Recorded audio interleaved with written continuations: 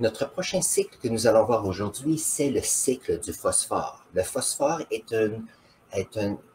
Voyons voir. On va recommencer. Notre... Notre prochain cycle est le cycle du phosphore. Le phosphore est un élément qui est K comme ceci sur le tableau périodique, mais lorsqu'il est utilisable par les organismes, il est un ion de potassium. Maintenant, le potassium comme ceci est important pour la croissance des plantes de la même façon que le dioxyde du carbone est important, de la même façon que l'azote est important.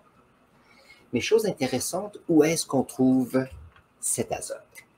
L'azote est trouvé dans le sol, surtout lorsque on a des on a des plantes qui sont mortes, qui sont euh, décomposées. Un autre endroit qu'on peut avoir cela, ce sont des sédiments. Donc, dans les sédiments, on peut se retrouver avec des grandes quantités de phosphore. Et si on se dit au Canada, il y a, euh, une grande réserve de potassium, on appelle ça le potache comme ceci. Et le potache, qu'est-ce que c'est? Ce sont des sédiments qui viennent de l'évaporation d'anciens océans ici dans le centre du Canada. Donc, on a des sédiments riches en potassium.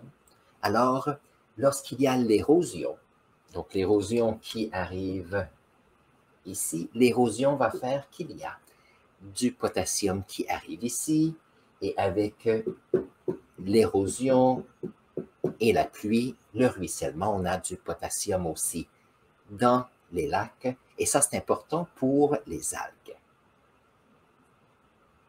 Alors tout va bien jusqu'à maintenant. Donc on a du potassium partout. Maintenant, le potassium aide à la croissance des plantes. Ça, ça veut dire que si on veut faire de l'agriculture, on a de plus en plus de personnes sur la planète Terre. On a à peu près 8 milliards de personnes maintenant en plus de tous les organismes qu'on utilise pour la nourriture, que ce soit le bétail, volaille ou les plantes, on a de plus en plus besoin de nourriture pour ces organismes.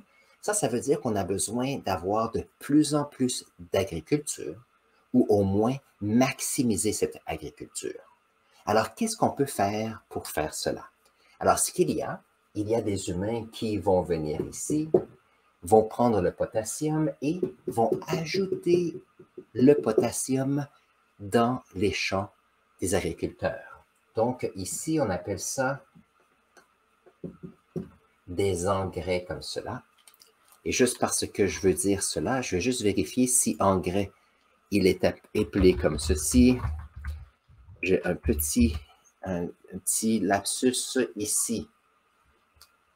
C'est avec un E un petit lapsus de cerveau. Voilà. Donc, nous avons de l'engrais qui est mis dans les champs.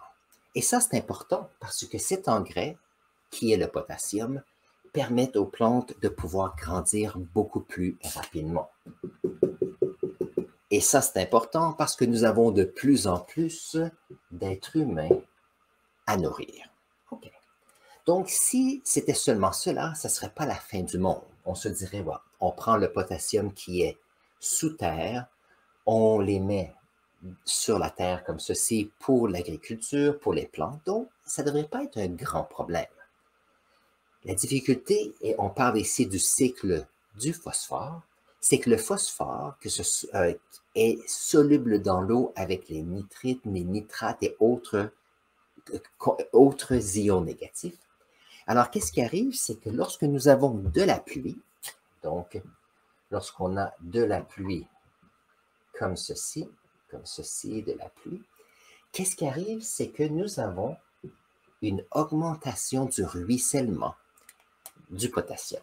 Donc, si nous avons ici un sédiment, il y a une augmentation du phosphore qui va aller ici dans notre lac. Par contre, on sait aussi que l'eau va arriver et va aller ici dans les champs mais à cause de cela et du ruissellement, on se retrouve avec une augmentation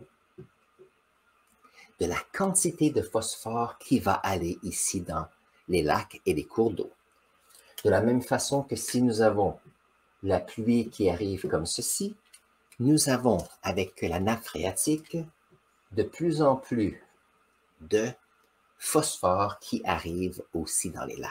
Donc ça ici, ça cause certaines difficultés parce que nous savons que le phosphore est important pour faire grandir les plantes.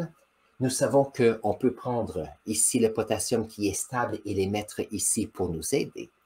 Par contre, plus on utilise l'engrais, plus il y a de potassium qui est disponible à être soluble par la pluie et finir dans les cours d'eau. Et ça, ça peut causer des difficultés. Alors, quelle sorte de difficultés est-ce que nous parlons maintenant? Nous savons que dans les lacs, il y a ce qu'on appelle des algues. Donc, la quantité d'algues va augmenter. Et ça, c'est intéressant. Donc, ici, il y a des algues. Des algues. Et il y a une augmentation de ceux-ci. Voyons voir si je peux trouver une petite photo pour vous montrer. Alors, c'est, j'ai pris quelques photos il y a quelques temps et je vais vous montrer ça, c'est intéressant. Donc, je suis allé faire un tour dans un parc il y a quelques années et voici ce que j'ai vu. Il y avait un canard qui nageait dans un étang et il y avait tellement de phosphore qui était arrivé là qu'on peut voir que la surface d'eau ici, alors ici, il y avait une petite traînée derrière le canard qui nageait. Il y avait ici une quantité d'algues qui était à la surface de l'eau ici. Maintenant, pensons, si nous avons une grande quantité d'algues qui est en surface ou dans l'eau, que se passe-t-il avec le soleil? Est-ce que le soleil peut aller en profondeur de notre étang, de notre lac? Et ça, c'est quelque chose à considérer. Alors, retournons sur notre tableau ici. Donc, chose importante pour les organismes vivants, nous avons le soleil. Enlevons ceci. Le soleil nous envoie ses rayons et bien sûr les plantes, les algues dans des étangs ont besoin de soleil. Donc la difficulté, c'est que si nous avons des plantes qui sont à la surface ici comme cela, et une grande quantité ici à la surface, nous avons en profondeur, il n'y a plus de soleil. Donc, ça va rentrer ici, et ici, il n'y a plus de soleil en profondeur.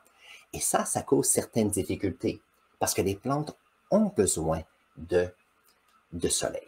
Donc, ça commence à faire une, un changement dans l'écosystème aquatique ici. Et ici, il y a une façon de le dire, et c'est un grand mot. Ce grand mot, c'est eutrophisation. Donc, je vais l'écrire ici. Alors, EU, eutrophisation.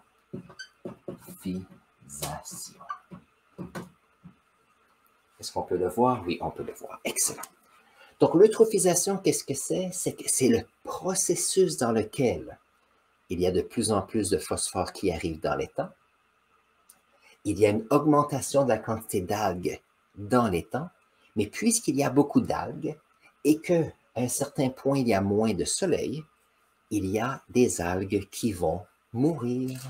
Donc ici, on a des algues se décomposent.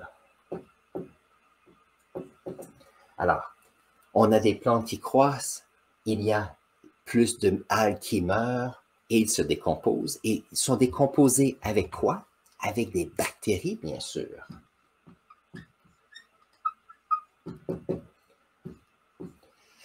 Donc ici, chose intéressante, on a plus de plantes, plus de décomposition, plus de bactéries, mais ces bactéries ont besoin de quoi?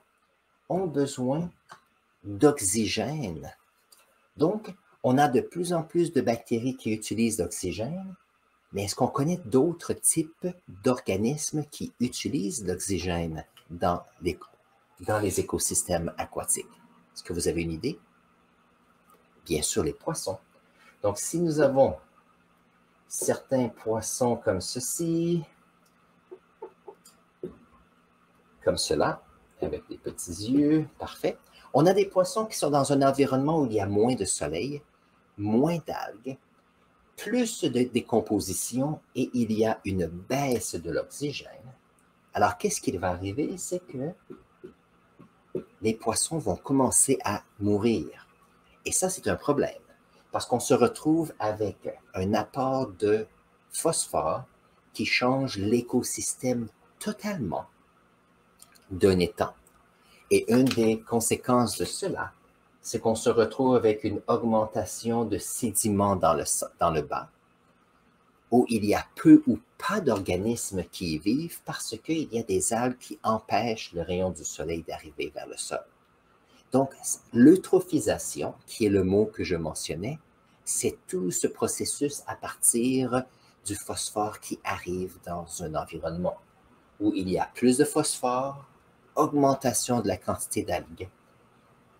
Puisqu'il y a plus d'algues, il y a plus de plantes qui meurent, qui augmentent la quantité de bactéries, qui ceci diminue la quantité d'oxygène dans l'eau, et ça finit par faire mourir les autres organismes qui vivent dans l'eau.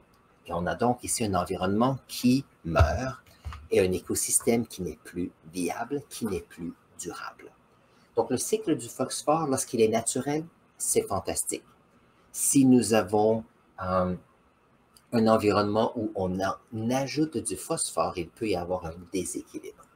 Bien sûr, il y a des carrières comme des agronomes qui, eux, ce sont des personnes qui vont étudier la composition du sol ici d'un agriculteur et vont dire, OK, quel est le type d'engrais qu'on peut ajouter et la quantité spécifique pour aider avec la croissance de plantes?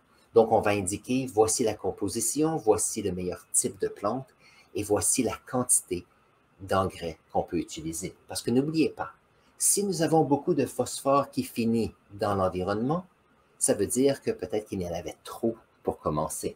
Donc, si on peut maximiser comment est-ce que l'engrais est utilisé par les plantes, ça nous permet de pouvoir minimiser la quantité de ressources qui sont utilisées, maximiser la croissance de plantes ici, mais aussi minimiser l'effet sur les écosystèmes. Et ça, c'est quelque chose qui est important. Donc, avec le cycle du phosphore, on veut éviter l'eutrophisation. Donc, ça, c'est à considérer. Si vous avez appris quelque chose d'intéressant aujourd'hui, n'oubliez pas de vous abonner à notre chaîne. Si vous avez des questions supplémentaires, mettez-les dans la section commentaires. Ça me fait toujours plaisir de les lire et les utiliser pour faire nos prochaines vidéos. Sur ce, prenez un instant et je vais mettre ici un lien sur un autre, pour une autre vidéo pour vous et on se voit dans la prochaine vidéo.